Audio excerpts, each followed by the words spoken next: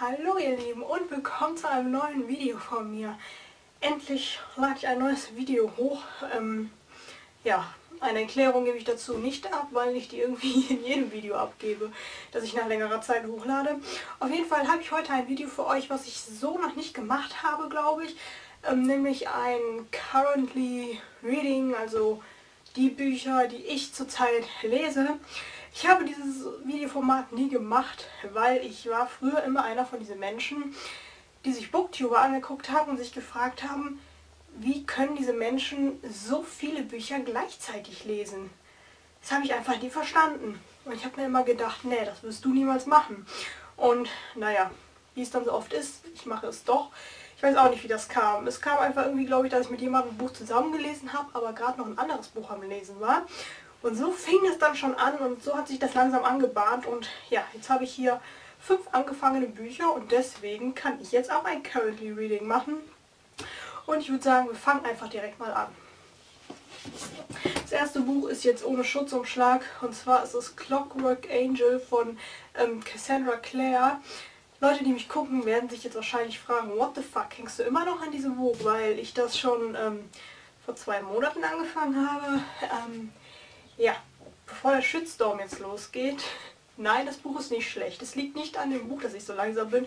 Es liegt einfach an mir. Und ich glaube, es ist einfach noch nicht die richtige Zeit, dieses Buch zu lesen. Weil als ich das vor zwei Monaten, glaube ich, war, das angefangen habe, habe ich mir gedacht, ja komm, du musst das Buch jetzt auch mal lesen. Alle haben es gelesen, außer du. Und dann war das irgendwie so ein Zwangslesen. Und deswegen kann ich mich noch nicht so richtig ganz in diese Welt reinfinden. Wie ihr seht, habe ich bis jetzt nur so viel gelesen davon. Und ähm, ja, also das Buch gefiel mir eigentlich von dem, was ich bisher gelesen habe, ganz gut. Aber ähm, ja, ich kam einfach nicht so richtig da rein.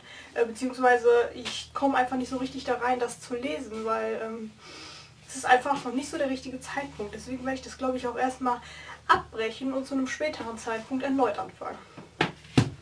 Dann das nächste Buch, was ich gerade lese, ähm, wird wahrscheinlich, wenn ihr dieses Buch, äh, wenn ihr dieses Video seht, schon ausgelesen sein, weil heute ist Freitag und ich glaube, ich werde das Video Sonntag oder Montag hochladen, je nachdem, wie ich das schaffe. Und zwar geht es um äh, Kein Rockstar für eine Nacht von Kylie Scott. Äh, dieses Buch lese ich zusammen mit Gabi von dem Kanal Gabi Glam Books. Ich verlinke euch ihren Kanal auf jeden Fall unten in der Infobox, dann könnt ihr auch mal bei ihr vorbeischauen. Und ähm, ja, wie gesagt, das Buch ist fast ausgelesen. Ich glaube, mir fehlen jetzt noch so knapp 40 Seiten. Ähm, ja, das werde ich, glaube ich, denke ich, gleich noch verschlingen. Und ähm, ja, ich kann so viel dazu sagen. Das Buch gefällt mir bisher ganz gut, aber mehr werdet ihr dann in meiner Rezension dazu sehen. Dann das nächste Buch, von dem ich leider nicht so richtig weiß, ähm, wie, ich es habe, äh, wie ich es finden werde. Und zwar geht es um Dark Love, Dich darf ich nicht lieben von Estelle Mascame. Das Buch ist im Heine Verlag erschienen und ähm, ja, es macht ja irgendwie momentan total die Runde auf Booktube und ich habe es mir auch zugelegt, als es gerade ganz neu rauskam, weil ich einfach das Cover wunder wunderschön fand und ähm, mich auch der Klappentext total angesprochen hat. Und zwar geht es hier um die 16-jährige Eden oder Eden, wie man sie aussprechen möchte.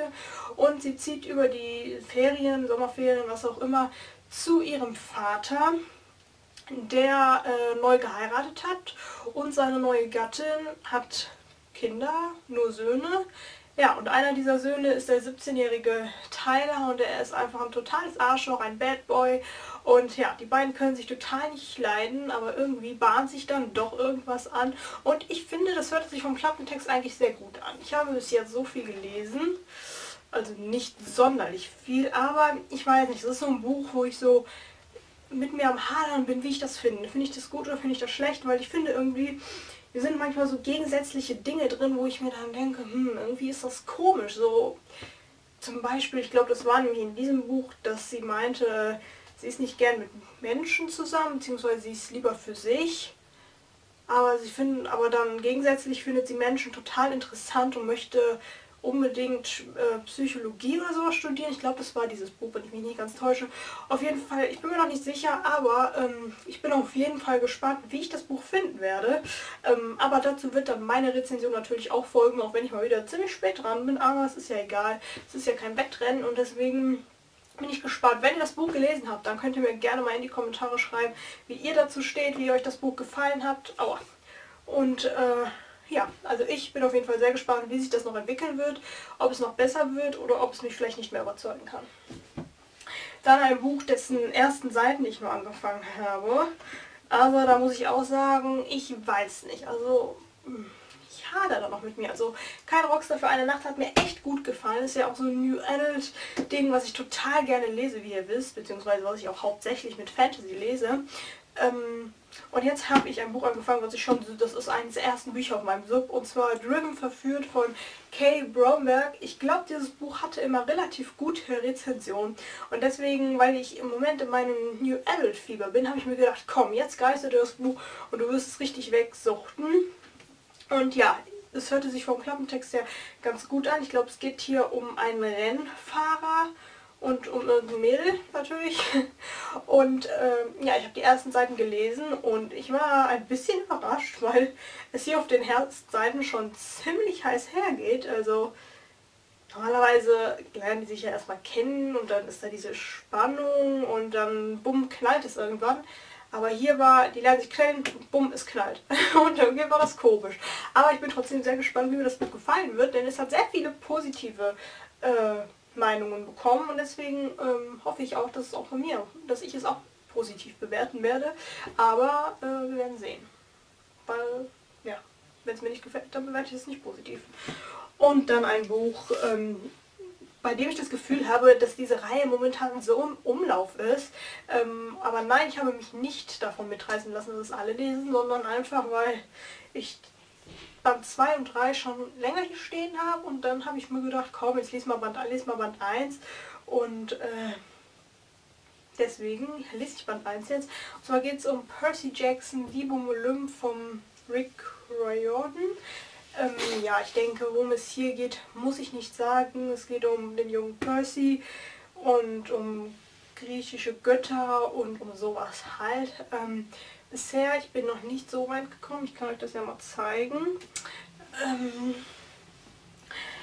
gefällt es mir ganz gut, aber ich muss sagen, ich habe immer so ein Problem mit Büchern, dessen Film ich schon gesehen habe.